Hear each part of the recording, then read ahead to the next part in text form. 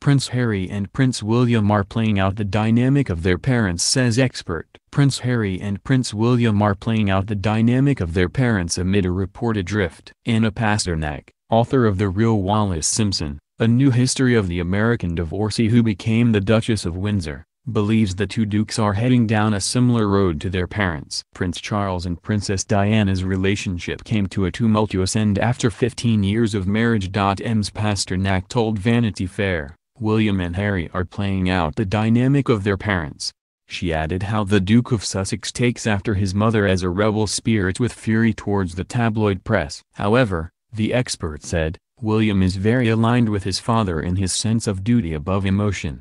Princess Diana shocked the nation when she sat down with BBC's Martin Bashir for a tell-all interview in 1995. In her first solo interview since marrying Prince Charles, the late Princess of Wales told the journalist that her experience was isolating. She added that the pressure on us both as a couple with the media was phenomenal and misunderstood by a great many people. Her son Prince Harry appeared to follow in Diana's footsteps when he and Meghan Markle also sat down for a bombshell interview with Oprah Winfrey. The Sussexes discussed their decision to step back as senior members of the royal family. Touching on his mother's experience, the Duke told Oprah, My biggest concern was history repeating itself.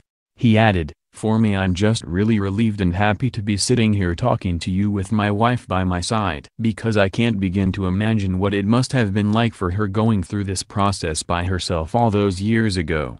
Harry also claimed that his brother and father are trapped in the royal family. According to Ms. Pasternak, the Sussexes were suddenly too electric like Princess Diana was in her day. She claimed Meghan and Harry made the Cambridges seem rather dull. Relations between the Sussexes, the Cambridges and Prince Charles have reportedly been tense since Harry and Meghan's tell-all interview. Harry returned to the UK last week for Prince Philip's funeral and is believed to have had a chat with William, Kate Middleton and Charles to hammer things out at Frogmore Cottage. A source told The Sun, there is no way this is the end of a crisis in their relationships but it's a good gesture and a nice way to take the first step towards healing.